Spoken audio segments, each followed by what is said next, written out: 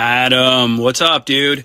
Uh, those are great questions. I've never gotten either of these questions before, so I'm super stoked to answer them.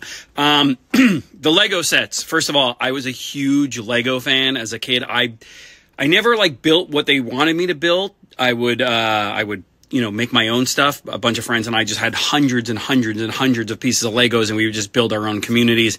Uh, anyway, uh, the if Silver had a set, uh, which he should, I would want there to be some sort of uh, extension for his hands where it looked like he was putting out, you know, his his psychokinesis, uh, and I would want there to be some sort of things that he could lift that would be surrounded in blue, so it looked like it actually had his power coming up.